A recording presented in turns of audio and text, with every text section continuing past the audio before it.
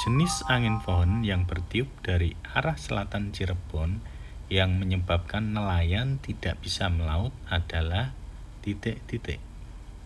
A. Angin kumbang B. Angin gending C. Angin bohorok atau D. Angin wambrau Sekarang perhatikan Angin pohon merupakan angin hasil pelepasan dari sisi sebelah gunung yang bergerak menuruni gunung pada sisi lainnya.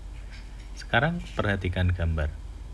Angin yang menuruni gunung ini memiliki sifat kering dan panas.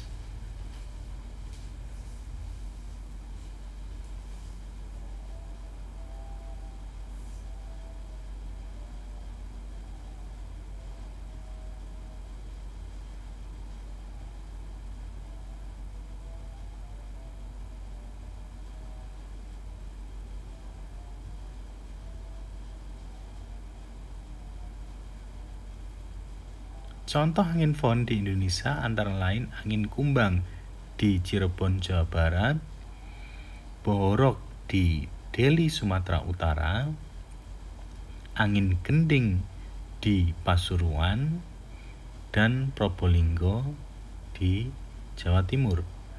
Angin berubu di Makassar, Sulawesi Selatan, dan Wambrau di Biak, Papua.